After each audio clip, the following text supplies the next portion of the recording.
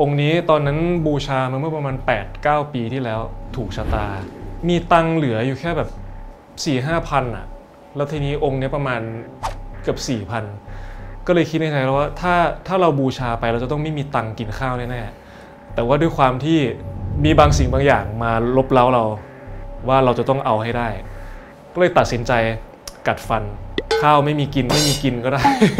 แต่เราจะต้องได้องค์นี้มาก็เลยบูชามาประมาณกับ4 0 0 0เชื่อไหมครับว่าหลังจากนั้นก็มีงานเข้ามาครับ ก็มีงานโฆษณา มีงานอะไรอย่างเงี้ยเข้ามา ท่านก็ให้ในสิ่งที่ทดแทนไปสู่ว่าเราบูชามาแบบตังค์เราจะหมดแล้วอะท่านก็จะคอยเติมคอยเติมมาให้ตลอด ตรงเนี้ยทุกครั้งเวลาที่ผมเครียดหรือว่างานน้อยหรือว่ามันมีอะไรไม่สำเร็จก็จะมาขอมาขอจะมีเหมือนกับว่ามีงานมาเติมเติมเติมให้ตลอด ก็คือเงินก็จะแบบ เหลือกินเหลือใช้ตลอด